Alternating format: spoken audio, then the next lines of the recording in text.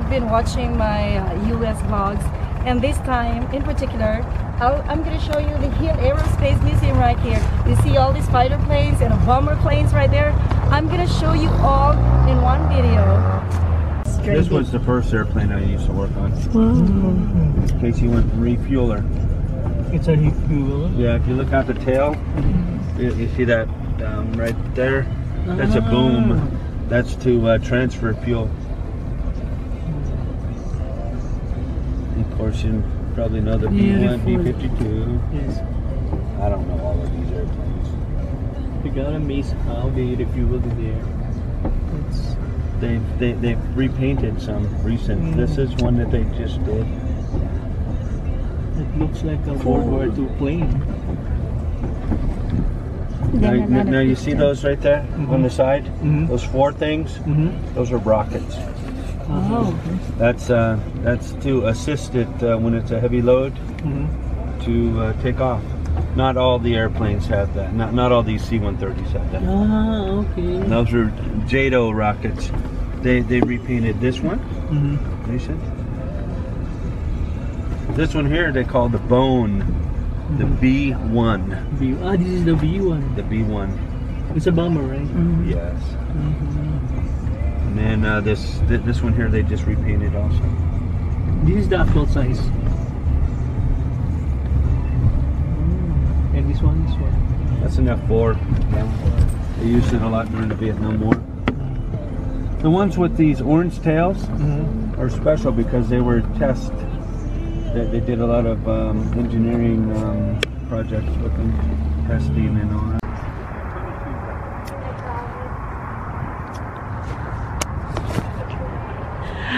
We're going to see some planes today at the Hill Aerospace Museum, guys. One-time experience. That beast over there is my favorite. Because of its orange tail.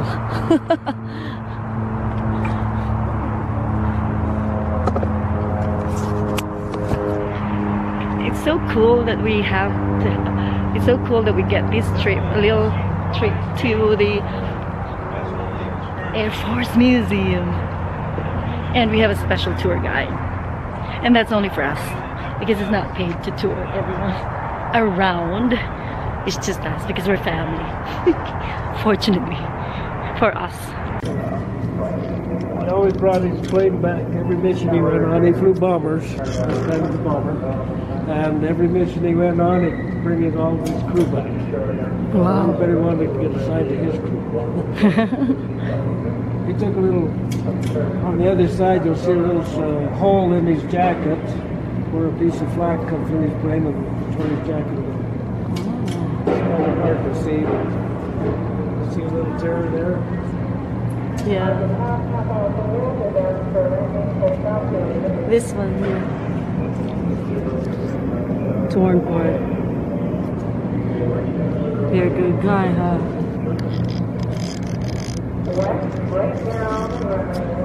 He's saying he said that this lieutenant always try to make sure that he brings his whole crew with him even if they're left behind he would go back for them bring them back home. Yeah, he's like a hero real hero. Most uh, of that uh, training is yellow and blue and hanging up there, that two liter biplane was one of probably one of the most uh, used. They use more of those for fighter planes or, or trainer planes than they did any. There's two or three other models they use too. Yes. Yeah. And the one they dropped in Nagasaki and Hiroshima. this one At the same the size. same size Atomic bomb. wow let me take a picture of you MK6 atomic bomb dropped in Nagasaki. So it, it, even though it uh, it was a bomber, it was it, was, it worked pretty good as a fighter. And now our newest one, the F-35, it's named the Lightning II. The Lightning This 2, one is the modeled after this, Lightning. This is the original. the original. Wow. But out of uh, So it's a bomber of- and a fighter plane as well. painted by Lockheed. yes. So There's a, there's a few of them. So Lockheed. But yeah, I, I wanted to show you this one here. This is a special plane too. Mm. Electric propellers. But the twin-tailed devil. To take off, it needed to be as light as it could. To take off from an aircraft carrier, it had never been done before. So they didn't know if they were going to make it or not. So they had to make these engines faster and the plane lighter. So all the guns, But it carries a bomb. yeah, they still each carried one bomb, I think. Yeah, it was kind of, it's kind of a cool story. Very important airplane. They by fighter planes. Uh, there might be one. Are, are you wanting to see the fighter planes? Because there's a whole different, the, the, the next building is all fighter planes. Ah, so Wow. these are all bombers. Well, this is, uh, this is mostly older ones. I mean, there's an F-16 there. Combustor. Uh-huh, okay. That's why I like to talk to a lot of people. I, I get to ask some people if they got questions. Do you know anything about I do turbojets? Please comment below. I know nothing about it. This guy here is an expert. So talking about this turbojet, it's huge. Uh-huh. Yeah, There, there- there's a lot of. So which one is your favorite? This one? This one. Just a Yeah, little. the spy plane. We're gonna have to shoot you when you get done. This one is a Sikorsky And the fastest. helicopter. The spy plane is the fastest. What is this? Sikorsky. Sikorsky. What is Sikorsky it? helicopter. I'm crappy. It's uh, it's a helicopter. It's a helicopter. So you know the scenes in movie where they're sending fighter planes with a couple of uh, Marines, Air Force, one or more. This is it. So earlier I was asking if that was real, like uh, education. Is it school for aircrafts and fighter planes or whatever, Air Force? And I think it's really a school. Or sometimes they hold seminars in here because there's like a stage with a podium and the audience seats. You know, after they quit flying them, they, they use them for practice shooting. Big, big missile one. It's a McDonnell Douglas Air 2A Genie. Those are genies. Fighters will go out and intercept them. We have a lot of pictures of that. That was during uh, the Cold War. Oh, they do that now to this day. Yeah, they still do that. They just they just do it to um, press their luck.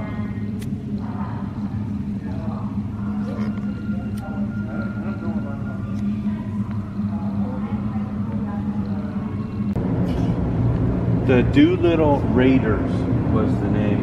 Very important mission. If it- I mean, if you look that up, there's been many movies and, and stuff. But the, there was uh, 16, right? 16 of them. Ah, yeah. So this is the book that told that story of April 18, 1942. Now, crazy thing about the Doolittle uh, Raiders was they got together and met every year. There, there was a bottle of uh, cognac that they bought, and they said, whenever there's only two of us left, then they'll open it up and drink it in remembrance of all of the others. Oh. They would get together every year. You know, some some people would die throughout, and I think uh, two years ago there was only two of them. Then they opened it. They did. It might be all services. This says uh, Utah's. It's fallen, yeah. Utah's fallen. Those are gone. So those are those are real people's names. Yeah. This is Andrews, Daniel, Francis, Vietnam War. Ah, so it has the assignments as well. I can't even read that. I'm gonna read the Brown, I can't read it. Yeah, most of them are not readable anymore. I come in here and I keep looking for the keys and they won't, they hit them somewhere. I keep thinking, one of these days I'm gonna find the keys and I'm gonna take one of these. for a ride." There you go. That would be nice. Yes, that would be fun. Before they had the heater going, it was cold in here, I want to start one of these. This pie plane. It says remove this one before you fly it.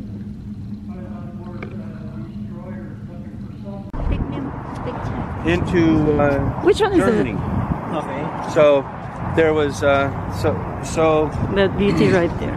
the U.S. Air Force made a uh, air bridge, and they used these kind of airplanes here to go up and over. So they delivered food into Germany, Berlin. These are the actual planes? There was one pilot that really stood out, and he uh, he seen that there was a bunch of children, Beautiful beasts. and he uh, tied candy bars to little parachutes, and he would go over them, and he'd throw these candy bars out, and they would just fall to the ground for the little kids. Oh, So they got they, they nicknamed him the Candy Bomber. candy bar. Well, the Candy Bomber, he lives here in Utah. Oh, He lives he lives on the way to Salt Lake, a little town called Bountiful. Um, he's he's getting pretty old though.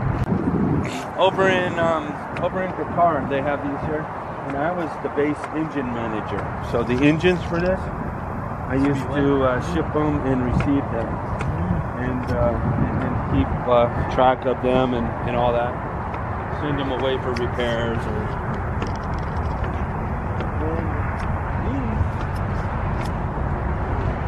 Take. These have been a really good tool in the war of uh, the war on terrorism.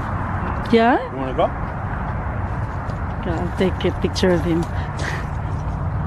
okay, one, two. Okay,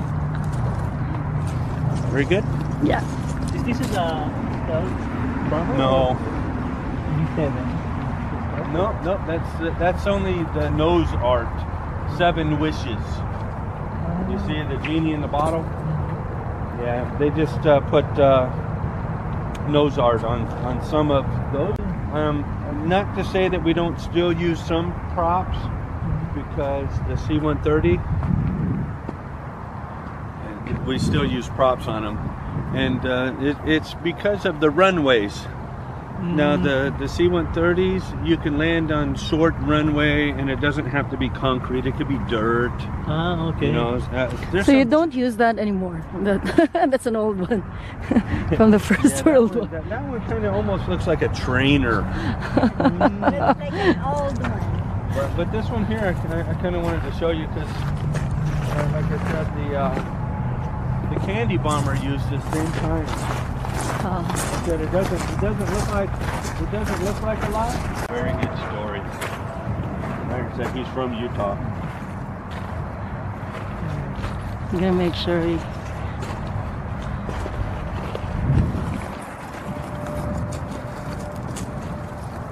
Uh, well, you don't see too many of them with these rockets on there, so if you take a picture of that, you probably won't have to see it again. Uh, Lockheed Martin always keeps those out. Yeah, I'll take a picture of both of you. I want to see the full body. Okay. One, two. Almost looks like a dolphin. Rockets in there too? Oh, yeah. Got the whole thing? I'll get one more. Okay, cool. No, no, those are actually. Uh, yeah, there's a lot more inside. Th- This is just. The actual rockets. Yeah, I just wanted to really see show, show you this one, or, well, maybe a little bit of that one. The, that bomber one over there where the That one right there is kind of interesting too. Can You see the uh, twin tail? Yeah.